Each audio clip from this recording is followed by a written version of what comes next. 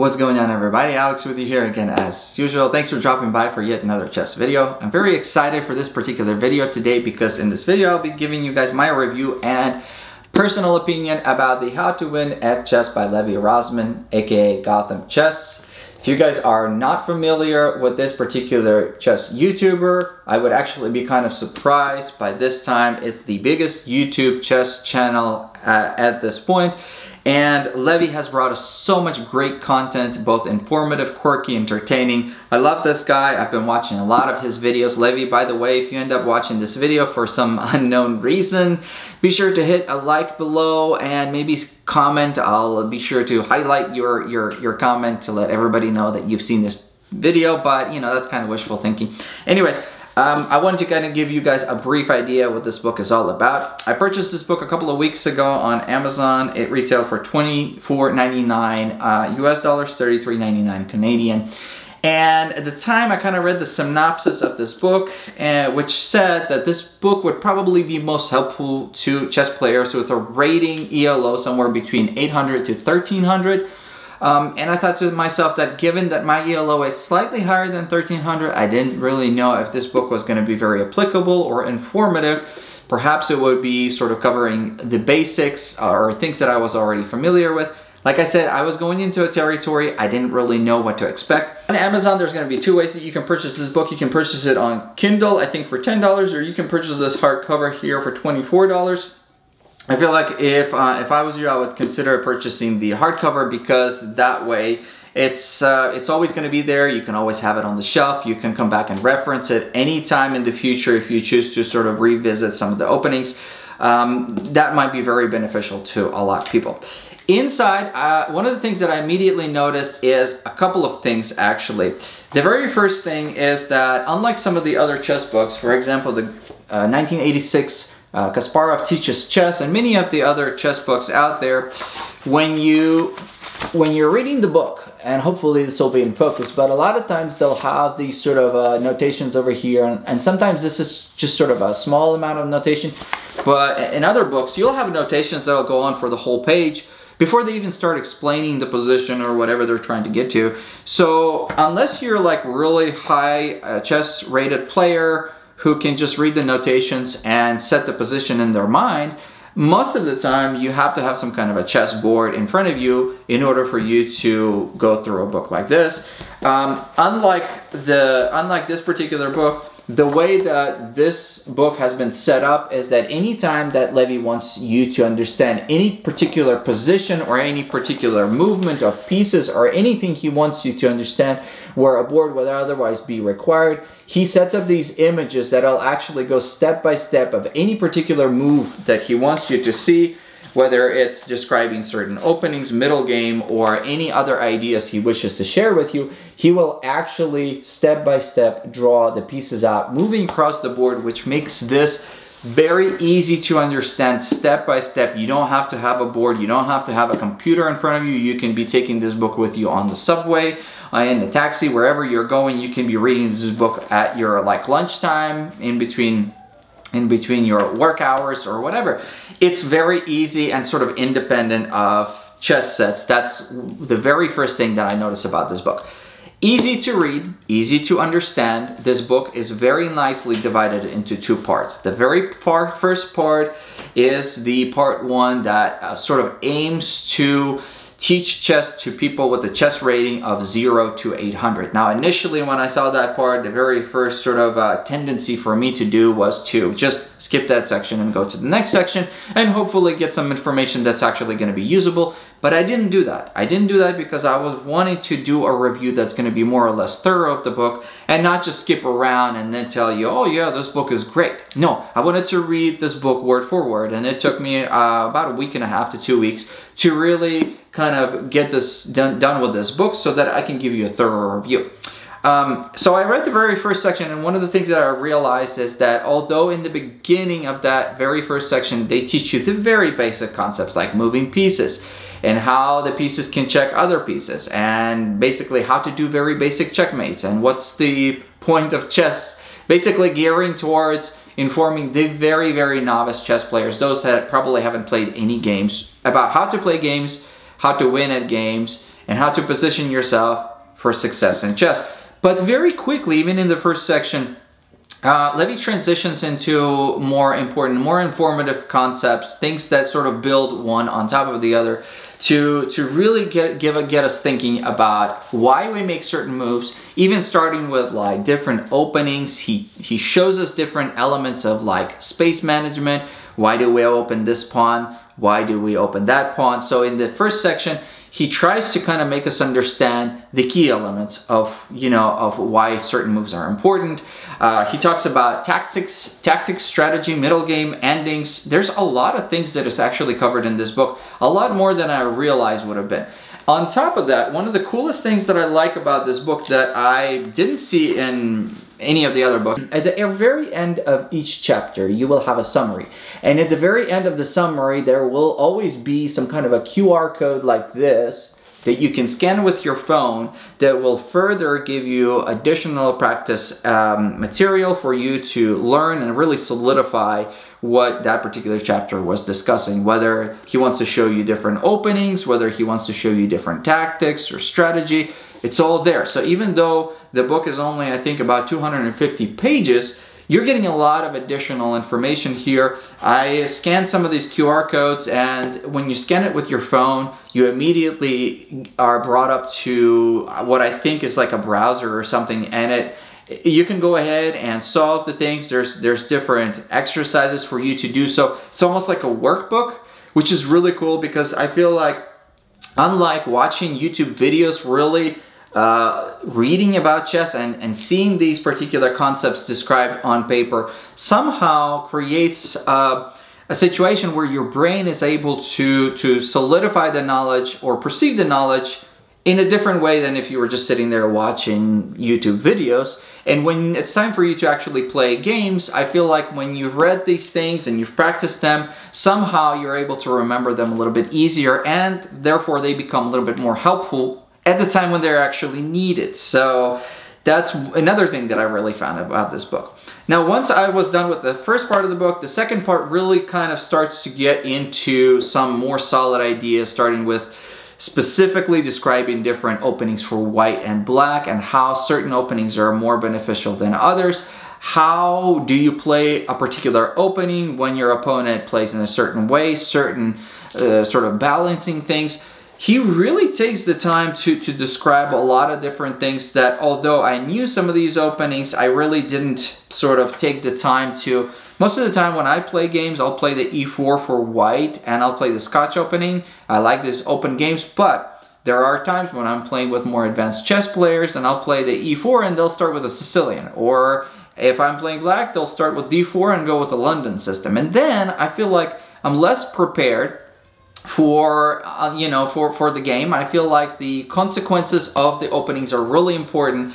This is another thing that he harps on in this in this particular book is even though you might be one of the people like me and you're always going with the same opening you should definitely take the time to learn about all the other openings so that when you're playing against somebody else who tries something different at least you'll be prepared and you're going to be able to counterplay in such a way that it's going to be more favorable for you as opposed to just being like me and just being completely lost just the other day, I went to a tournament and I uh, I was playing some casual games with with the person. Every time I went with the e4, he started with a Sicilian. And Sicilian is, by the way, also covered in this particular book and uh, uh, briefly, and, and also how do you play for white if somebody starts playing Sicilian so that you can sort of maximize your control of the center, so you can maximize your success in finishing the game.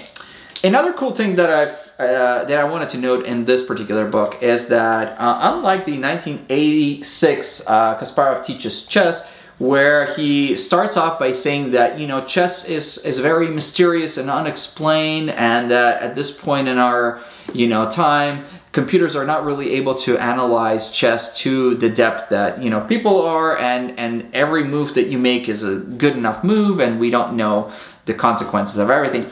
In 2023, he talks about some concepts like, for example, the end games, for instance, the king uh, versus pawn uh, and king game has essentially been solved because of the computer analysis with best play. It has been solved. So there's some elements that he talks about that basically, yes, the computer has gone through and analyzed all those games for us and we can and we can very confidently say that certain positions if you find yourself in those positions there is going to be a chance that you're going to win if you play correctly basically. So we can see that there's definitely you know a transition between the time when we didn't have computers to the time now the computers are able to help us analyze some of these games that are also going to be helpful helpful to us in in learning chess in the first place. Another thing I find very interesting in this book is that Levy gives us a lot of these statistical data with regards to like how many times has a certain opening been played, how many times has a certain move been played,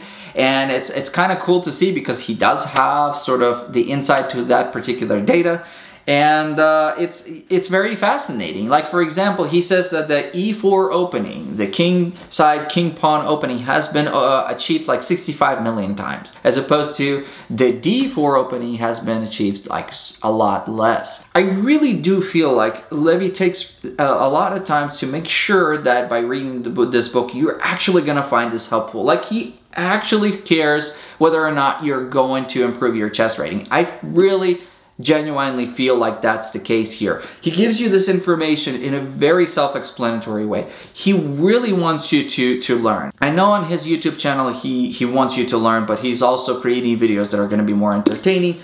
Here in the book, I really, really genuinely feel like Levy takes the time to ensure that you know he like reiterates on certain things like do this don't do that try this instead you know experiment with that to really improve your rating. So regardless of whether your rating is like 800 or even 16 or 1700, I feel like this book would be helpful to a lot of people out there.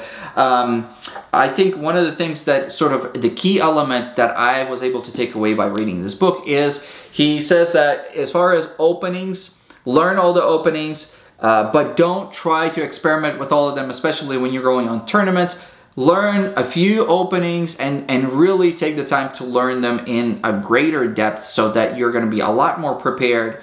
Another thing he says is, uh, you know, if you're going with the very common openings, for example, like the E4, you're gonna be up against a lot of people that are also very familiar with that opening and they can create a counterplay that's gonna be very serious and set up traps that you might sort of not be prepared for. Now, if you're going with less common openings, if you're to go with, for example, the London system, a lot of times people are not to be prepared as much because they might spend all their time playing sort of the mainstream opening and it might make sense for you to experiment with, with sort of the less popular openings so that way it'll give you an advantage especially to people that may not have spent as much time sort of learning those things. And I do have to agree with that. I used to play a lot of the Queen's Gambit uh, opening before, but I find that now having read Levy's book, I might try the London more and just experiment with that. Um, he gives you like really, really solid ideas as far as space management, space control of the pawns,